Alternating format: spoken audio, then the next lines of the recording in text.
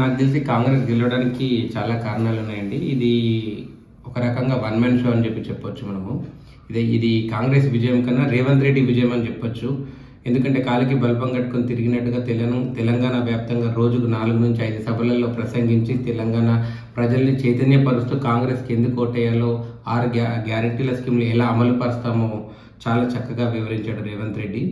మిగతా నాయ మిగతా నాయకులకు రేవంత్ రెడ్డికి తేడా ఏంటి అంటే మిగతా నాయకులు ఎవరు వాళ్ళ అసెంబ్లీ పరిధి దాటకుండా అక్కడే ప్రచారం చేసుకున్నప్పుడు బట్ రేవంత్ రెడ్డి తన అసెంబ్లీని వదిలేసి కొడంగల్ ప్రజల మీద నమ్మకంతో తెలంగాణ వ్యాప్తంగా తిరిగి కాంగ్రెస్ గత పది సంవత్సరాల ముందు కాంగ్రెస్ ఏం చేసింది రాజశేఖర రెడ్డి హయాంలో ఎలా చేసింది అనేది చెప్పుకుంటూ అలానే ఒకవేళ అధికారంలోకి వస్తే ఏం చేస్తాము ఎలా చేస్తాము అనేది కూడా చాలా వివరంగా చెప్పడం అలానే కేసీఆర్ కేసీఆర్పై కానీ బీఆర్ఎస్పై కానీ ఉన్న ప్రజా వ్యతిరేకత గవర్నమెంట్ ఉద్యోగులు ఇప్పుడు దాదాపు మనకు పోస్టల్ బ్యాలెట్లో ఒక రెండు లక్షల ఓట్లు పోస్టల్ బ్యాలెట్లో పోలయ్యాయి.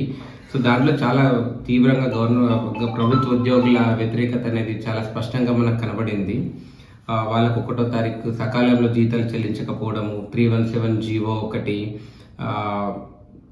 పోలీసు పోలీసులకు ఇప్పుడు పదిహేనో తారీఖు డిస్టిక్ వైజ్ శాలరీస్ ఇవ్వడం ఇవన్నీ చాలా కారణాలు ఇవన్నీ వ్యతిరేకత వల్ల ప్రభుత్వ ఉద్యోగులు కూడా వన్ సైడెడ్గా కాంగ్రెస్కి సపోర్ట్ చేయడము ఇవన్నీ జరిగాయి. కాంగ్రెస్ ఇప్పుడు గెలిచింది ఆల్మోస్ట్ రేపు మాపు రేవంత్ రెడ్డి గారు రేవంత్ రెడ్డి ఎవరైనా అంటే అందరూ రేవంత్ రెడ్డి అని అంటున్నారు. మనం కూడా పాజిటివ్ గానే పోదాము.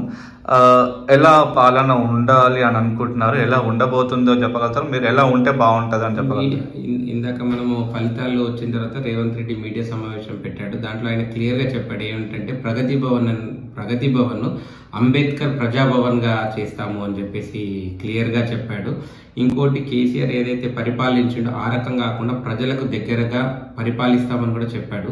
సో ఈ రెండు మీరు ఇప్పుడు ఏదైతే కాంగ్రెస్ గవర్నమెంట్ ఉందో గతంలో రాజశేఖర రెడ్డి ఏ విధంగా రచ్చబండ కార్యక్రమాలు కానీ ఏ విధంగా ప్రజలకు దగ్గరగా పనిచేశాడో ఆ రకంగా కాంగ్రెస్ పనిచేయగలిగితే వాళ్ళ వాళ్ళు కూడా అధికారాన్ని కొనసాగించవచ్చు కంటిన్యూస్గా కాంగ్రెస్ ఏంటంటే ఏదైతే వాళ్ళు ఆరు గ్యారంటీలు చెప్పారో ఆ ఆరు గ్యారంటీల స్కీమ్లను కూడా వాళ్ళు అమలు పరిస్తే పబ్లిక్లో చాలా కాన్ఫిడెన్స్ పెరుగుతుంది కాంగ్రెస్ పార్టీ పైన కాంగ్రెస్ హామీల పైన.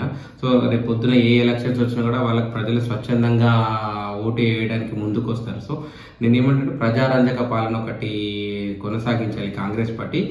ఇంకోటి ఏంటంటే ప- ప్రతిపక్షాలు ఏదైతే ఇప్పుడు టీఆర్ఎస్ పార్టీ కానీ బీజేపీ పార్టీ కానీ ఏదైతే కాంగ్రెస్ పార్టీలో సంవత్సరంకి ఒక ముఖ్యమంత్రి మారుతాడనో లేకపోతే కాంగ్రెస్ పార్టీ ఎమ్మెల్యేలు అమ్ముడుపోతారనో ఇవన్నీ చెప్పారు. బట్ ఇప్పుడు ఏంటంటే క్లియర్ మ్యాండేట్ వచ్చింది కాబట్టి కాంగ్రెస్ పార్టీకి. అటువంటి పునరావృతం కాకుండా ప్రజల సంక్షేమం దృష్టిలో పెట్టుకొని వాళ్ళు ప్రజారంజక పాలన అంది అందిస్తే చాలా బాగుంటుందని అనుకుంటున్నాను